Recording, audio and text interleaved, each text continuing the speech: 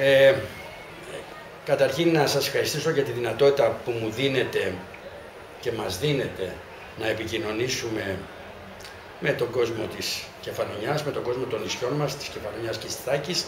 Το μας έχει να κάνει φυσικά ότι μιλάω στο γενέθλιο τόπο μου και γι' αυτό χρησιμοποιώ το μας.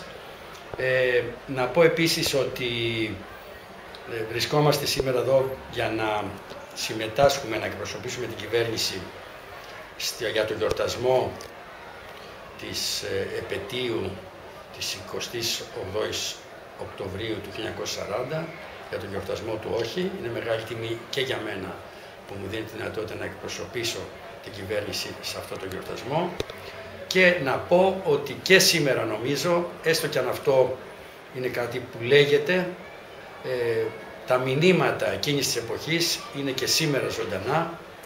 Η, η πάλι ο αγώνας, οι προσπάθειες του λαού μας και θέλω να πιστεύω και της κυβέρνησης για εθνική ανεξαρτησία, για κυριαρχία, για αξιοπρέπεια, για περηφάνεια εθνική, για τις προσπάθειες για το καλό της πατρίδας, όλα αυτά τα μηνύματα είναι και σήμερα ζωντανά.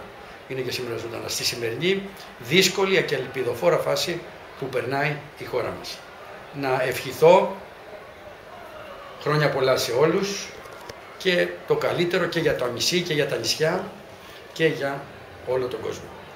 Τα συστήματα που ακούσατε απέναντι, τι, τι λέτε; Ομολογώ δεν τα άκουσα, αλλά αν μου πείτε θα σας πω τη γνώμη μου.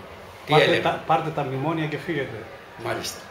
Ε, προφανώς είναι κάποιοι πολίτες, οι, οποίες, οι οποίοι έχουν όλο το δικαίωμα φυσικά ε, να πούνε τα συνθήματά τους, αλλά προφανώς εννοούν ότι θα προτιμούσαν τότε τον Αύγουστο που υπογράψαμε αυτή τη δύσκολη συμφωνία να μην κάνουμε το συμβιβασμό της ε, υπογραφής συμφωνίας αλλά να περάσουμε στη δραχμή και να βγούμε από το ευρώ. Είναι και αυτή μια επιλογή η οποία απλώς θέλω να πω δεν δικαιώθηκε στις τελευταίες εκλογές, δηλαδή στις πρόσφατες εκλογές του Σεπτεμβρίου.